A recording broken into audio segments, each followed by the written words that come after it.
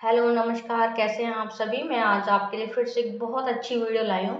आज मैं आपको सब्सक्राइब करने के लिए तो बिल्कुल नहीं बोलूँगी, क्योंकि मुझे मालूम है आज की मेरी वीडियो बहुत खास और बहुत अच्छी है तो आप खुद ही सब्सक्राइब करोगे लाइक भी करोगे कमेंट भी करोगे। तो चलिए, ज़्यादा टाइम नहीं लेंगे, वीडियो स्टार्ट करते हैं। आज मैं थोड़े घरेलू मुद्दों पर बात करना चाहूँगी।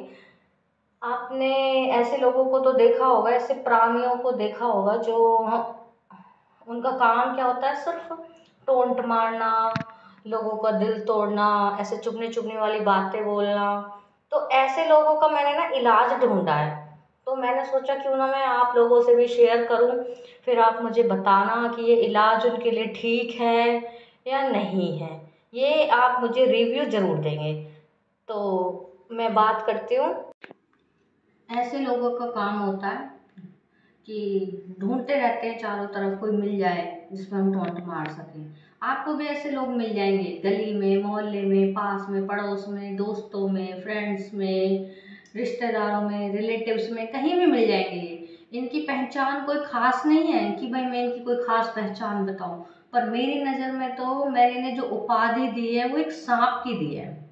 क्योंकि सांप का भी काम क्या है? डसना, जहर उगलना। इनका भी काम यही है, इनकी बातें शायद सांप के डंक से भी ज़्यादा हैवी रहती हैं।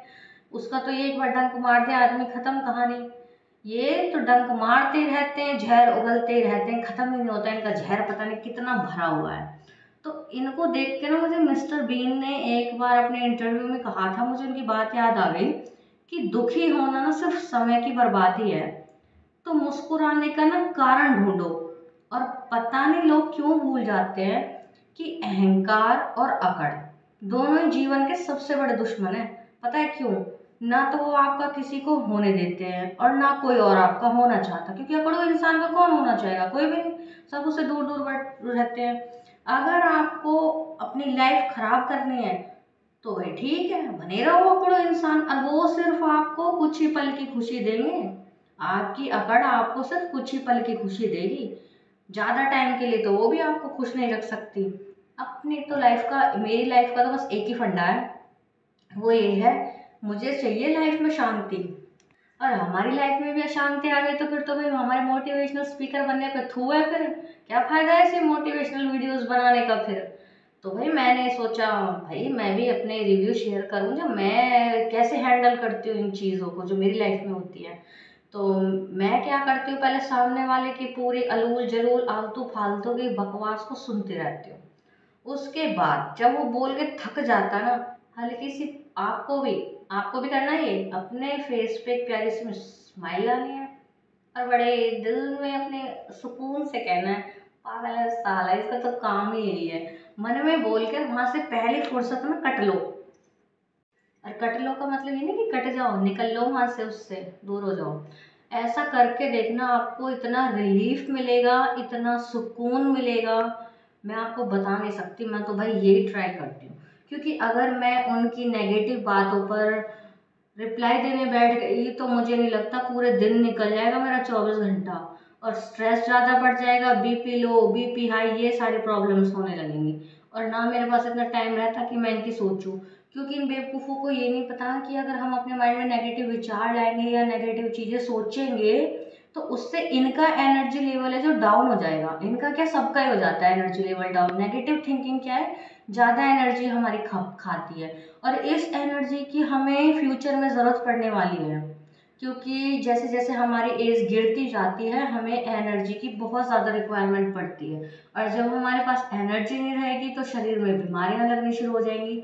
और हम एक बुढ़ापे के स्टेज में एंट्री करना शुरू करते चले जाएँगे। जैसे कहते हैं ना कुछ लोगों को आपने कहते सुना होगा वक्त से पहले बूढ़ा हो गया।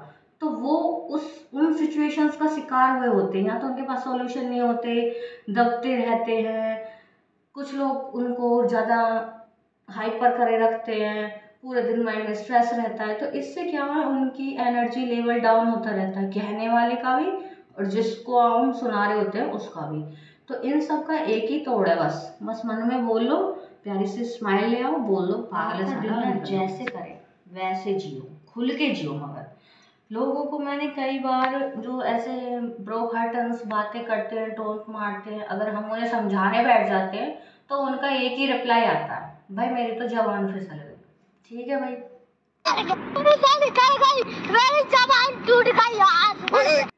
भाई हमने कहा ऐसे कैसे जवान फिसल गई? उसका भी तोड़ है जवान तो नहीं फिसलती क्योंकि भाई हम कोई अनपढ़ थोड़ी ना है जो तू हमें बेवकूफ़ बना देगा या? खुद को बेवकूफ़ बनाने की सलाह दे रहा है, ये बोल के खुद अपना वो करना चाह रहा है कि भाई मेरी तो जवान फिसल गई खुद को, खुद के दिल को तसल्ली दे रहा है? ये पता क्यों होता है? आपको बता दूँ कि लाइफ का सबसे बड़ा कड़वा सच है कि जवान कभी नहीं फिसलती। हमारे दिमाग में जो चल रहा होता है ना नेगेटिव पॉजिटिव वही हमेशा हमारी जीप पे आता है। तो अगर कोई इंसान नेगेटिव बोल रहा है तो दैट मीन्स उसके माइंड में वो चीज़ें कब से चल रही हैं? जो आपके सामने आने पर वो निकल रही है। लोग बोलते हैं, जवान फिसल गई। अरे, ऐसे कैसे फिसल गई? फिसल पट्टी है कि जो फिसलती रहेगी? और भाई, मेरी फैमिली वालों ने तो मुझे एक ही बात सिखाई थी। वो हमेशा ये बोलते रहते हैं कि बेटा, जब वक्त पर ना झूठ का दबदबा ज़्यादा बढ़ जाए तो बस तुम मुस्कुरा कर ही उस वक्त पर मात दे सकते हो, उस बुरे वक्त को। सिर्फ़ मुस्कुरा कर फेस पे स्माइल रख कर तो मेरे तो मोस्टली भाई रहती है और मुझे रियली में बहुत सुकून मिलता है इस सब चीज़ से। मेरे पास इतना टाइम नहीं होता कि मैं उनकी बकवास का रिप्लाई कर सकूँ।